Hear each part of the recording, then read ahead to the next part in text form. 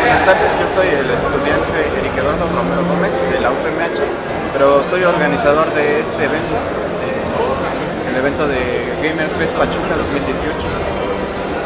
Eh, pues en este evento tenemos se- en el segundo día varias, varias dinámicas. Vamos a seguir con los torneos rápidos aquí de parte de nuestros patrocinadores Cybergame.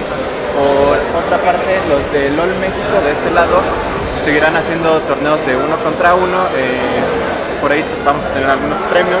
Ah, aquí como podemos ver, este, los chicos de Skills Esports eh, van a seguir regalando productos de Omen by HP.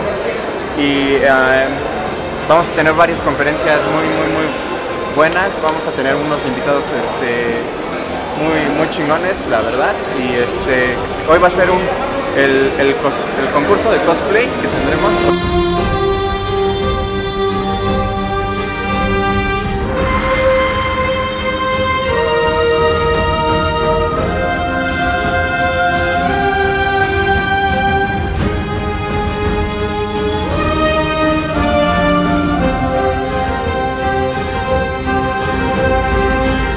Bueno, yo soy Estefanía Molina, soy estudiante de la Ciudad de México, de la UAM Xochimilco, estudio diseño gráfico y actualmente este, estoy apoyando una comunidad que se llama LOL México. En esta comunidad nos, eh, nos organizamos o apoyamos ciertos eventos como este, por ejemplo, en el que se está realizando un torneo de uno contra uno. Y en este torneo yo creo que es muy bueno hacer torneos así porque a nivel competitivo tal vez no somos las grandes ligas o como lo quieran ver, pero es como un futbolista, ¿no? Un futbolista empieza en una escuela de primaria, ¿no? Jugando contra otras primarias chiquitas, ¿no? Hasta que puede llegar a algo grande como ligas, divisiones y todo eso.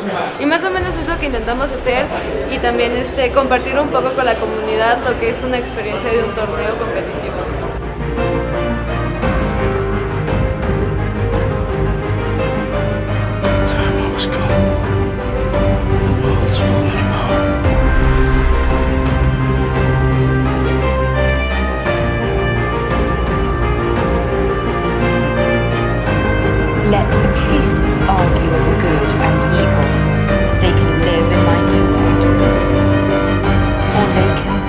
A toda, a toda esa gente que tal vez no tiene conocimiento todavía de la tecnología, de los deportes electrónicos, pues los invitamos a que si pueden vengan y dense una vuelta cuando hacemos este tipo de eventos para que se puedan enterar y no se queden en el tabú de que todo está mal, de que es algo de ocio, de que es algo que no es rentable y que pues por parte de los deportes electrónicos igual que se den cuenta que es algo muy bueno y que se desarrolla y que es algo que no te aleja de tus objetivos en cuestión de estudios y todo eso. Puedes hacerlo igual a la vez. Es muy importante igual eso, que la gente se dé cuenta que puedes estudiar igual y puedes ser pro player, no hay ningún problema.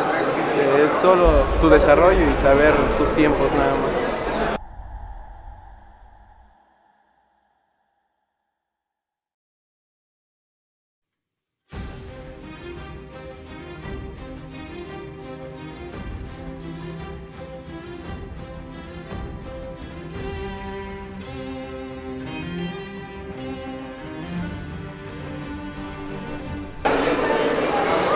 La cosa con, con la escena, yo pienso que aquí en México, ¿verdad? Fuera off the record, porque como que el gaming lo ven todavía, como que la cultura lo ven no como algo apto para trabajar, ¿entiendes? Como lo ven, como que están un poco atrás en ese tipo. Hay gente que ya lo ha visto, la gente que está aquí que le gusta jugar y eso, pero estoy seguro que hay mucha gente que sus padres les dirían que no pueden jugar, que no lo ven como un trabajo estable o no lo ven como que hay futuro. En realidad sí hay futuro, pero también siento que hay futuro si eres dueño de una organización porque como jugador en algún punto te va, se te va a acabar el tiempo, no es un trabajo estable realmente.